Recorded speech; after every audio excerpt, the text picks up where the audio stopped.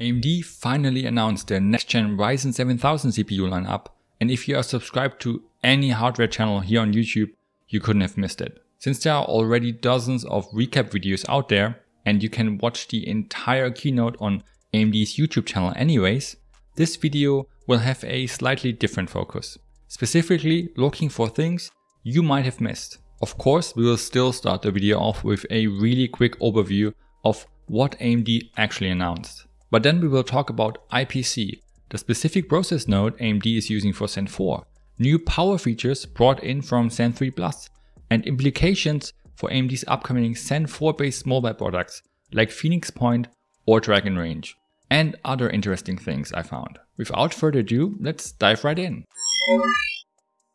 AMD announced four new Ryzen 7000 CPUs, which will be launched on September 17th, 12 days later than originally suspected. The flagship Ryzen 9 7950X with its 16 cores and 32 threads at up to 5.7 GHz and a 170 watt TDP will launch at $699 MSRP, $100 below the launch price of the 5950X. The 12 core 24 thread 7900 clocks at up to 5.6 GHz and has the same 170 watt TDP. The MSRP of $549 is exactly the same as the launch price of the 5900X. The 8-core 16-thread 7700X clocks it up to 5.4 GHz and lowers the TDP to 105 watts. With an MSRP of $399, it's $50 below the launch price of the 5800X, but $100 above the 5700X. And finally, the 6-core 12-thread 7600X with up to 5.3 GHz and the same 105 watt TDP starts at $209, the same starting price of the 5600X. Now with that out of the way, Let's start by looking at the IPC of Zen 4. Less than 3 months ago, AMD stated that Zen 4 would offer about 8% in IPC uplift over Zen 3, which wasn't bad by any means, but not comparable to the large increases AMD achieved in the past with Zen 2 and Zen 3. To everyone's surprise, including mine, AMD announced the actual IPC uplift was around 13%, much higher than previously thought. And in combination with the fast clock speeds, AMD claims a 29% increase in single thread performance. If this claim is confirmed by independent reviews, and I don't doubt AMD as they have been on point in the past, Zen 4 actually offers the largest increase in single thread performance since the original Zen architecture. Of course it will be impossible to beat the 52% IPC uplift Zen offered over Excavator back in 2017, but I've looked at the intergenerational IPC and clock speed increase of each Zen iteration, and Zen 4 does seem to come out on top. Zen Plus was only a minor tweak, with a 3% higher IPC and about 5% more clock speed. Combined, that's about 8% more thread performance for Zen Plus over Zen. Zen 2 was a major step forward and offered about 13 to 15% more IPC. Combined with the increasing clock speeds, AMD claimed a single thread uplift of about 21%. Zen 3 was a IPC monster with a 19% increase over Zen 2, though the clock speed gain was rather small, at least on paper. In some workloads, Zen 3 could actually hit about 10% higher clock speeds, which would put it in a similar realm of performance improvements to what Zen 4 is supposed to offer. Still, the official claim of 29% single thread performance gain is the highest since the original Zen CPUs. And the crazy thing is, most people were kind of underwhelmed, at least it seemed like it. If Zen 4 offers a similar or even a higher performance increase over Zen 3, as Zen 3 offered over Zen 2, it's much more than I would have guessed, and definitely a positive surprise. I think some of the tamed reactions are due to the fact that a large part of the performance gain is based on increased clock speeds, which comes with the negative effect of a higher TDP, while Zen 3 delivered all of its gains within the same power envelope and process node as Zen 2. On the point of process nodes, let's take a look at the 5 and 6nm design Zen 4 is based on. AMD is continuing their close relationship with TSMC and the Ryzen 7000 CPUs are actually the first Ryzen CPUs fully based on TSMC. Zen and Zen Plus were still produced by Global Foundries in a 14 and later 12 nanometer node. With Zen 2, AMD made a switch to TSMC's N7 node, but only for the CPU chiplets. The I.O. die was still produced in GlobalFoundries' 12nm process, and Zen 3 didn't change any of that. The CPU chiplets are still based on N7 combined with the same 12nm I.O. die. With Zen 4, AMD is switching to a full TSMC design, using the new N5 HPC process node for the CPU chiplets and N6 for the I.O. die. If we take a closer look at this N5 HPC node, we can see that it is an N5 derivative which is optimized for high clock speeds. TSMC claims a 7% increase in speed over the default N5 node. This plays a big part in why Zen 4 is able to reach such high clock speeds. Of course this is only part of the equation.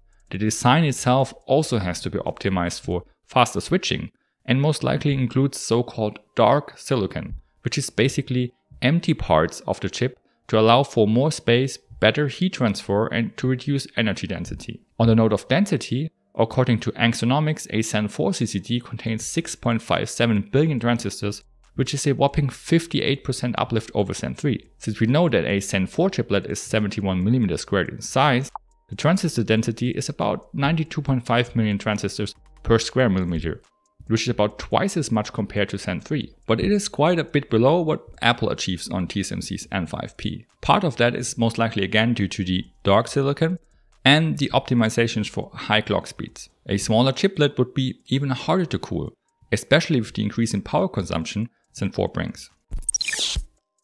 One point why some people are a bit hesitant about Zen 4 is the increase in TDP. Instead of offering 65 and 105 watt parts like before, AMD increases the TDP values to 105 watt for the 6 and 8 core models and 170 watts for the 12 and 16 core parts. While this is a rather large increase, and I'm not a fan of higher power consumption myself, I think we should wait for reviews to form a final opinion on the power draw of the Ryzen 7000 CPUs. The introduction of AVX 512, which does increase power draw quite a bit, means AMD has to plan for a larger power envelope. In addition, these TDP numbers will only be hit during heavy multi-thread workload. If you are running lower threaded applications, like games for example, the TDP values should be out of reach. If a 7950X needs to be under full AVX 512 stress to reach its 170 watt TDP limit, is a different story compared to if it hits the same power at medium load. That's why I need more information to form my final opinion. I'm sure Gamers Nexus and Hardware Unboxed will deliver as expected once the review embargoes lift.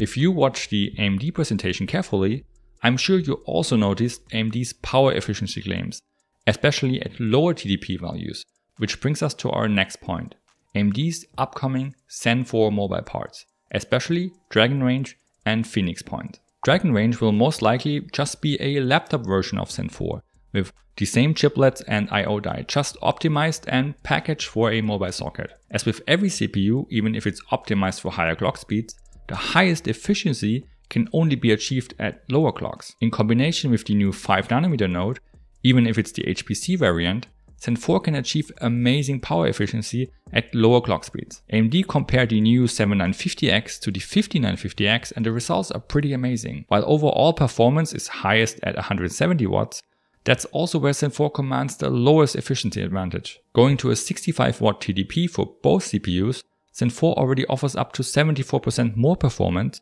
and I'm pretty sure this trend continues further down to 45 and 35 watts. This means that AMD can offer a 45 watt mobile version of the 7950X with basically over 74% of the performance of a 5950X, maybe even much more depending on how far the N5 HPC node and Zen 4 architecture continue to scale. Imagine a Ryzen 7000 mobile chip with 16 cores, a 45 watt TDP and performance close to a desktop 5950X. AMD will be able to offer productivity monsters in laptop size. I'm already looking forward to a comparison with Apple's M2 Ultra. This is in part due to AMD implementing some of the features in Zen 4 that got introduced with Zen 3 Plus, based on Rembrandt parts earlier this year. If AMD is able to take a 7950X, lower the TDP to 45 watts or less, and create this really fast and efficient mobile CPU, basically without any effort, just imagine what they will be able to deliver with Phoenix Point, a APU on a power optimized 4nm process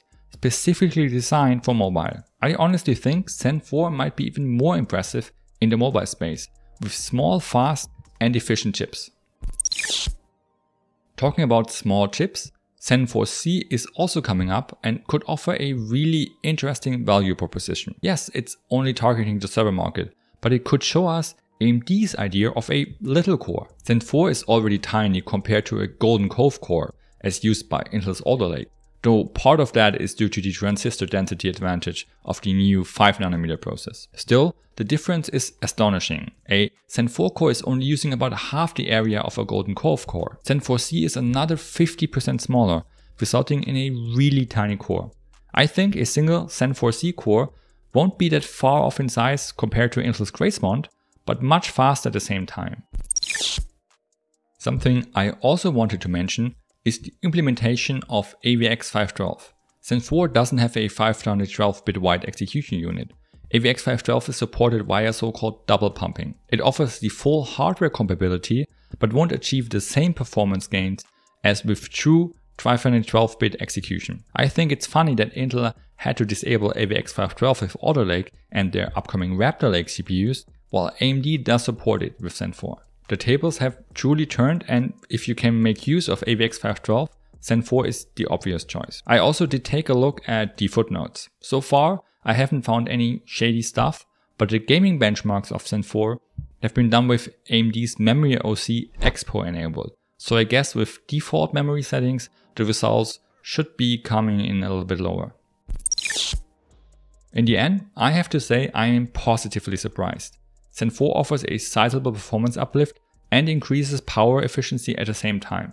Of course, it would have been nice to keep the same TDP values as Zen 3, but with high clock speeds and AVX 512 support, it's just not feasible. If you buy a Zen 4 CPU, the best thing to do might be to lower the TDP in the Ryzen Master software, and you could achieve even better efficiency at similar performance levels. The Zen 4 core has a lot of potential, especially the upcoming mobile parts Dragon Range and Phoenix Point might turn out to be the true champions of AMD's 7000 series. When it comes to the competition, Raptor Lake could beat Zen 4 in raw performance, but so far it looks like Intel and AMD will fight toe to toe.